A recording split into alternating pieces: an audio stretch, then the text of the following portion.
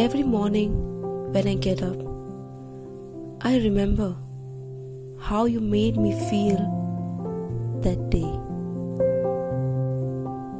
I wish I could explain. How did you made me feel when you made fun of the scar on my face?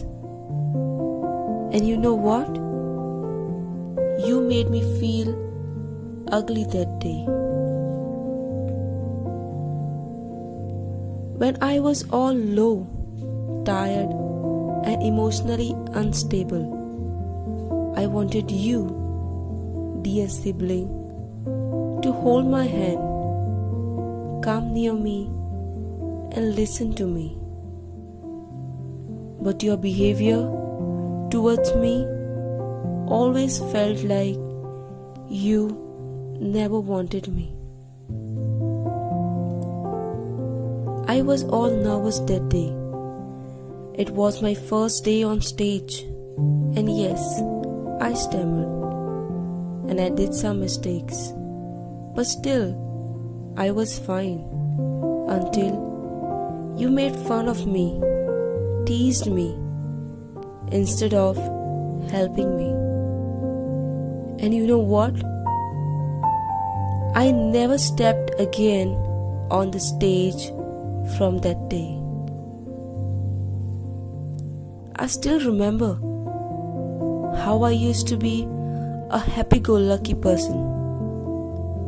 How I used to cherish each and every moment with my dear friends. But then, then the truth was covered with lie. Gossiping was more important than understanding wherein the word friendship was the same, but the meaning was different, and everything changed. You know what? Here I am, dealing with all the negativity, but there is a change, a change within me, which helps me to accept myself the way I am and not what others want me to accept. You know what?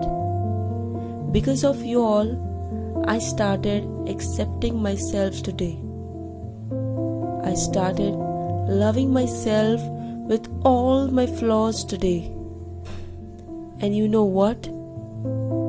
Thank you. Thank you for that day.